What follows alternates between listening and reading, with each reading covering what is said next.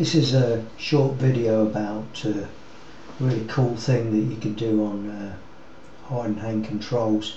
This is a 530 control that I'm going to demonstrate this on.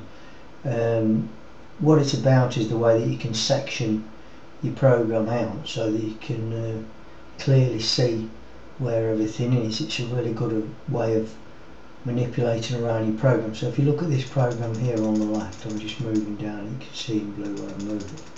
So if I want to find something I can use like a click on the go to and I could say go to 12 enter search for like line 12 which would get me there and then I can and I've also got this beginning and end which is great it all works really well you've got the go to and all that.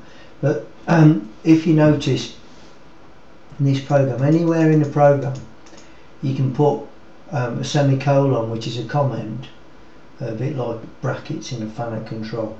And then you've also got this star one. When you press the star you can write another comment but it sections the program out.